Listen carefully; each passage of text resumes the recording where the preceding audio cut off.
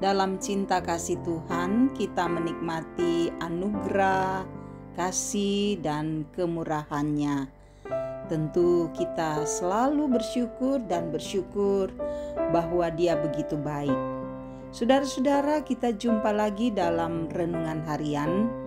Kita berada di hari Kamis, tanggal 23 Juni tahun 2022 kebenaran firman Tuhan kita akan baca dan renungkan. Marilah satu dalam doa. Ya Bapa, kami menginginkan untuk membaca dan merenungkan firman-Mu. Kami rindu dan rindu untuk selalu memahami kehendak-Mu. Roh Kudus tolong kami, biar firman yang kami baca dan renungkan mengambil bagian dalam hidup kami. Tuhan bersabdalah, kami siap menyambut firman-Mu. Di dalam nama Tuhan Yesus kami berdoa. Amin. Imamat pasal 10 ayat 1 sampai 7. Kematian Nadab dan Abihu. Kemudian anak-anak Harun, Nadab dan Abihu masing-masing mengambil perbaraannya, membubu api ke dalamnya serta menaruh ukupan di atas api itu. Dengan demikian mereka mempersembahkan ke hadapan Tuhan api yang asing yang tidak diperintahkannya kepada mereka. Maka keluarlah api dari hadapan Tuhan lalu menghanguskan keduanya sehingga mati di hadapan Tuhan. Berkatalah Musa kepada Harun, inilah yang difirmankan Tuhan kepada orang yang karib kepadaku. Kukatakan kekudusanku dan di muka seluruh bangsa itu akan kuperlihatkan kemuliaanku. Dan Harun berdiri diam. Kemudian Musa memanggil Misael dan Elsafan, anak-anak Usiel, paman Harun, lalu berkatalah ia kepada mereka, Datang kemari, angkatlah saudara-saudaramu ini dari depan tempat kudus keluar perkemahan. Mereka datang dan mengangkat mayat keduanya, masih berpakaian kemeja, keluar perkemahan seperti yang dikatakan Musa. Kemudian berkatalah Musa kepada Harun dan kepada Eleazar dan Itamar, anak-anak Harun, Janganlah kamu berkabung dan janganlah kamu berduka cita, supaya jangan kamu mati dan jangan Tuhan memurkai segenap umat ini. Tetapi saudara-saudaramu, yaitu seluruh bangsa Israel, merekalah yang harus menangis karena api yang dinyalakan Tuhan itu.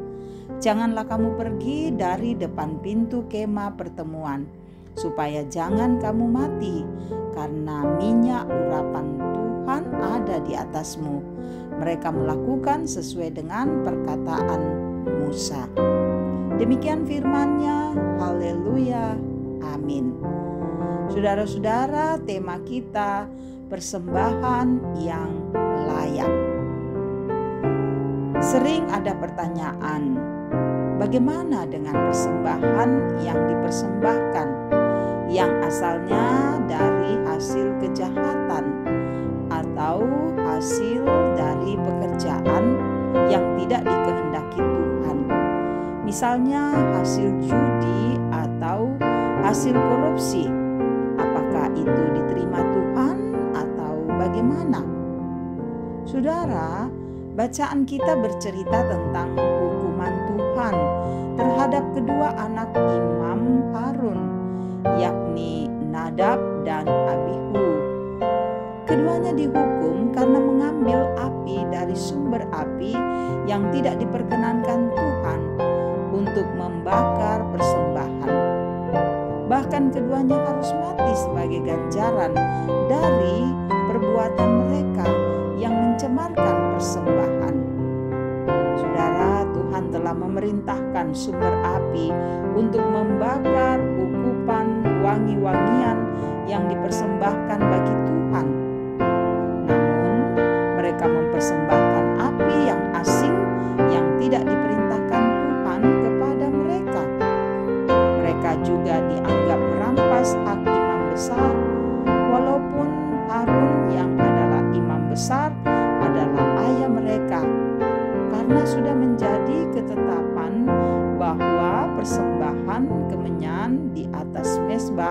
Hanya dapat dilakukan oleh imam besar. Saudara, persembahan kepada Tuhan adalah pengakuan dan rasa hormat terhadap kekudusan Tuhan. Untuk itu, persembahan yang dipersembahkan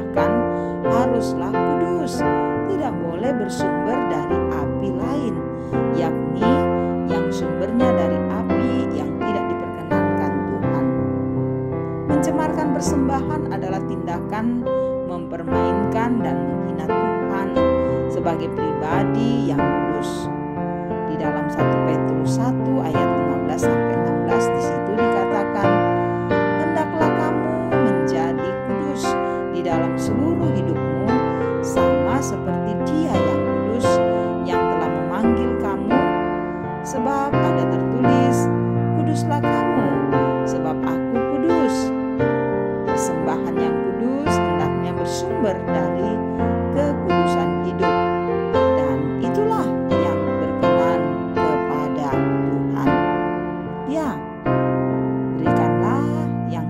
Terbaik persembahan sebagai ungkapan hormat terhadap kekudusan Tuhan.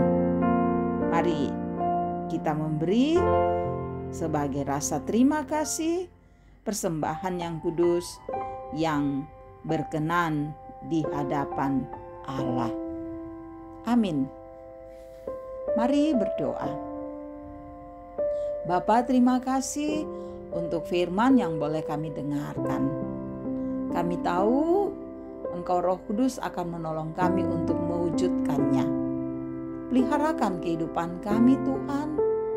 Berkati keluarga kami, berkati anak-anak kami, berkati pekerjaan kami, berkati para orang tua kami, Bapak Ibu yang ada dalam usia emas, semoga tetap kuat dan sehat. Berkati kami semua yang selalu merindukan firman ini, mendengarkan dan juga menjadikan firman sebagai pedoman. Ajar kami untuk tetap merasakan kasih-Mu dan bersyukur di dalamnya. Saudara-saudara kami yang bergumul karena sakit, karena duka, dan masih banyak persoalan lain, hadirlah Tuhan, biar kami boleh menyelesaikannya dalam tuntunan dan kasih Tuhan. Dan berkati setiap sukacita kami, sempurnakan agar kami selalu menyaksikan kehadiran-Mu yang luar biasa. Engkau menjaga pemerintah kami untuk terus memerintah dengan bijaksana. Engkau mengasihi para pelayan-Mu, Engkau memberkati semua kegiatan-kegiatan yang dilaksanakan dalam lingkungan gereja Toraja, baik persidangan BWGT, jambore, sekolah minggu pada minggu depan, dan selanjutnya peraya PPGT. Biarlah semuanya terjadi dalam bimbingan dan kasih Tuhan.